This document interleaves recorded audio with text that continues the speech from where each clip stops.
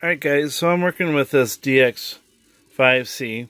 Certainly will enjoy it at some point, but here's some issues I'm having. So I don't know, I mean certainly isn't my wires, I don't know, my wires look pretty good, but come on, really? It's gotta be an issue? It's gotta be an issue like that, really? Anyways, back to something else. I was trying to set up my rear wheel steering